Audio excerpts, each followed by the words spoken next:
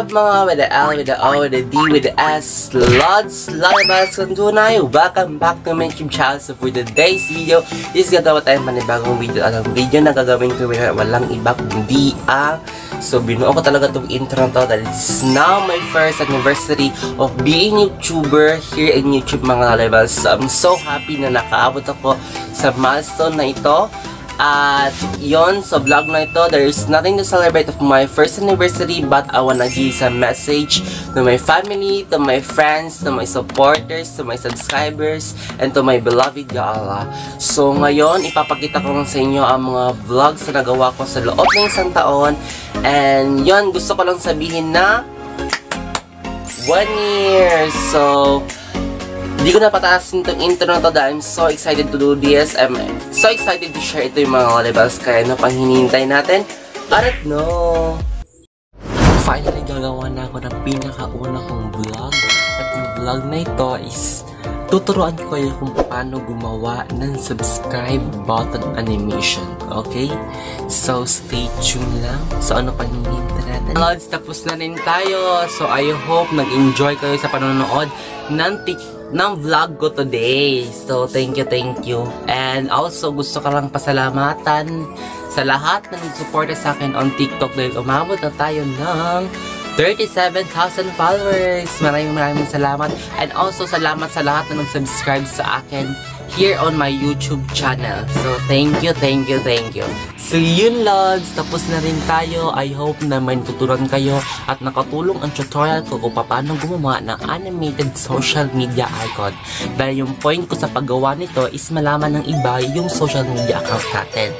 So, welcome back to my channel. So, for today's vlog na naman, isi-share ko sa inyo ang mga video ideas na kung saan pwede siyang gawing content. Dahil normal lang sa isang small YouTubers na kagaya ko or even sa mga big YouTubers ay nauubusan na ng content.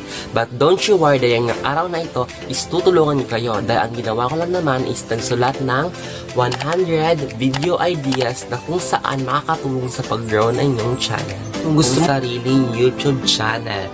So, um, before that, I wanna wish to all small YouTubers na nagsusumikap talaga na makamit ang requirements ni YouTube.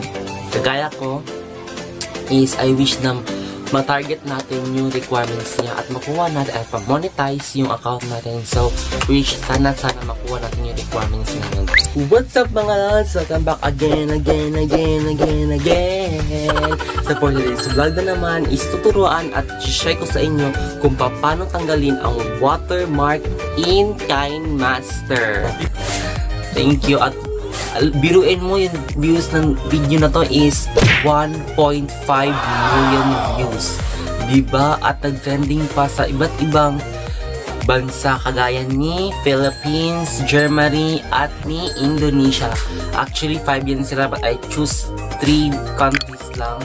And, and to all sa mga sikat out there, huwag po tayo agad magmaliit ng tao dahil alam niyo na kung anong mangyayari sa inyo. Kaya good luck and think before you speak and click also. Thanks. The reason why I made this vlog because there are some people who ask me on how I verified my YouTube account. Kung paano ko raw pinapalitan yung thumbnails ko at sa mga hindi pa nakakaalam, ito po yung example ng thumbnails. At yung mga thumbnails na ito is makikita nyo sa YouTube channel ko. How to set or add branding watermark on your YouTube videos kagaya nito from this to this. Yes. Nandyan pa rin kayo at hindi nyo po ako iniwan. Maraming maraming salamat po at mahal na mahal ko po kayong lahat mga ka-team blenders.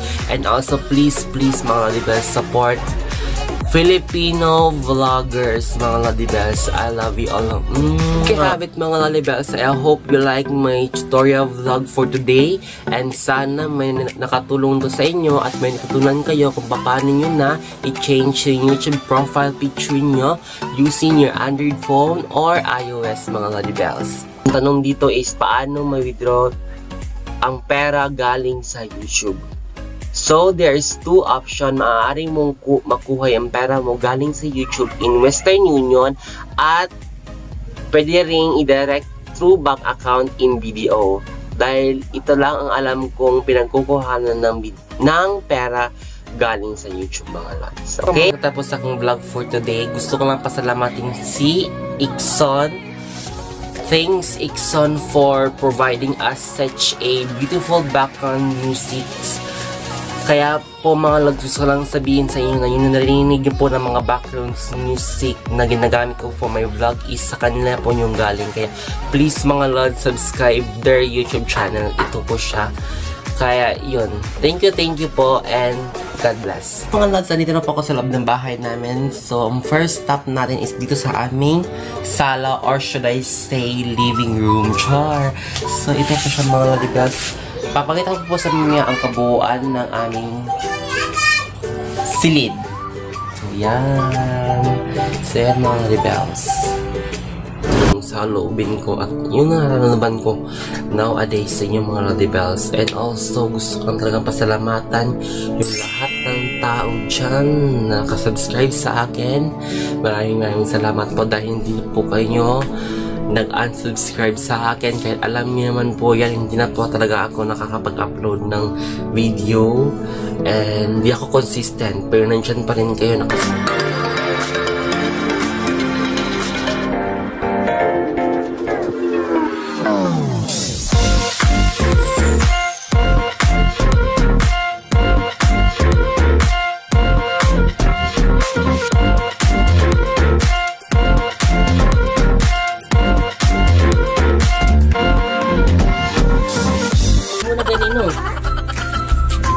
best experience ko in 2020 is that yung pinasok ko ang mundo ng pagiging vlogger. Actually, hindi ko to in-expect. And yung pag-vlog ko is trip-trip lang. Kaya pinagpatuloy ko na. Dahil meron na akong mga friends na, nag, na nag-motivate sa akin na i-push ko yung pagiging vlogger. Diba, sasabihin ko na sa inyo kung saan siyang store na bili sa Shopee. So, yung pangalan ng store na nabili ko is PXA underscore mall. Diyan mga mga diyan sa store na yung mga nibas, makikita nyo ang iba't ibang ano uri ng tripod na binibenta nila, mga high quality mga diba? So before ko tapusin tong vlog na to, gusto ko lang pasalamatan lahat ng tao na greet sa akin ng sa birthday ko, nag-wish, nag-send ng mga greetings nila, birthday wish, ganyan. Maraming maraming salamat po. I love you, I love you, I love you mga rebels. And also, I want to thank my best friend who made this special cake. I love you, I love you, best friend. Bestie Shy. I love you, I love you, I love you, I love you. Kaya yun. So for today's vlog mga rebels, irarang ko yung mga vlogs na ginawa ko noong 2020. Um, sisimulan ko sa pinakauna kong upload up to last. At i-rate ko ito ng 8 to 10 mga Lodi Bells. Kaya hindi ko na patatasin itong intro nito dahil I'm so excited to do this. Kaya na pang natin. At na! Mga rebels is isi-share ko sa inyo at ipapakita ko sa inyo ang enjoy and memorable moments na kasama ko ang aking mga instance to celebrate my summer 2021. So there you have it mga rebels. So ngayon, sasabihin ko na ito sa inyo. This is now my last vlog before Ramadan 2021. So I'm wishing at ipinagdadasal ko na maging successful ang aming Ramadan 2021 at sana ipagdasal nyo rin na maayos ang aming pagdiriwang sa Ramadan 2021. So there you have it mga rebels, yun na nga ang mga vlogs na nagawa ko sa loob ng isang taon. So I'm so happy, grateful, and blessed dahil nagawa ko ang mga vlogs na ito. So for now, I'm gonna give some message first sa my family. So I wanna thank you for being the family that I could ask for. Your love, support, encouragement, give me strength to fight on. Kahit anumang pagsubok ang naranasan natin, ay na nasusolusyonan pa rin. Basta, laban lang. So, I'm so happy na sila yung naging family ko. Lalo na ka mama and papa, my brothers and sister, so on and so forth. Kaya, mahal na mahal ko po kayo. Thank you so much for everything. Now, I wanna give message to my friends, to my friends out there. Maraming maraming salamat for the love and support. Kahit may mga problems akong nai-encounter, ino-open up ko sa inyo. You're always there to listen and give some message para labanan ang mga problems na ito. Maraming maraming salamat. And I'm so grateful eh, kayo ang naging friends ko. You know who you are. And I love you so much. For now, my message to supporters and my subscribers as well. So maraming maraming salamat po dahil nakasubscribe pa rin kayo sa akin sa loob ng isang taon. Um, you support my videos and also my channel and maraming maraming salamat po. Thank you for the like, for the comment, and for watching my videos whenever I posted. I really felt the love and support mga Lady Bells. Kaya maraming maraming salamat po. Kahit na hindi po ako consistent sa pag-upload, is nandyan pa rin kayo nakas nakasubscribe and watching my videos as well. Kaya thank you, thank you so much po and I love you. Mwah! And lastly mga Lady Bells, my message to my beloved Yala. Yala, thank you for everything that you have done to me. Maraming maraming salamat po. Hindi pa ako makakarating dito ngayon kung wala po kayo. Maraming maraming salamat po talaga.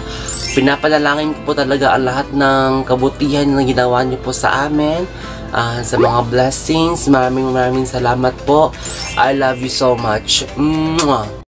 So, bago ko tapusin tong vlog na ito, is mag-shoutout muna ako. So, first shoutout is nung dalawang to, si Insan Rai and Insan Aniza. So, itong mga batang to is tinutulungan ko sa pag-answer ng modules nila. And luckily, is naging honor student sila sa tulong ko. Kaya, yon with high honor and with honor. Kaya, keep it up mga mga insan. Konting tiis na lang is matatapos na ang school year.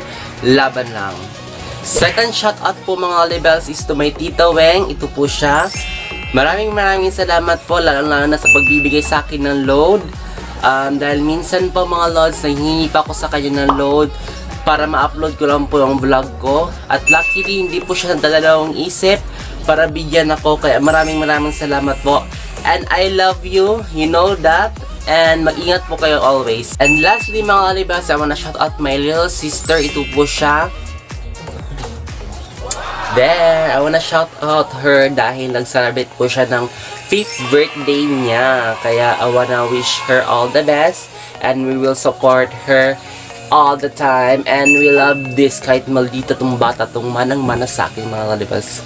Char lang! Kaya yun, happy birthday, we love you. Mm, ito da. Bye!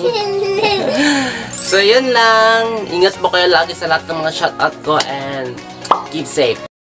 So there you have it mga Lady Bells. So maraming maraming salamat po sa lahat ng tao nagsusuporta at nagmamahal sa akin. Maraming maraming salamat po. Wala po ako dito ngayon kung wala po kayo. So tatanungin ko po ito ng utang na loob. And yon I'm always here to make you guys happy.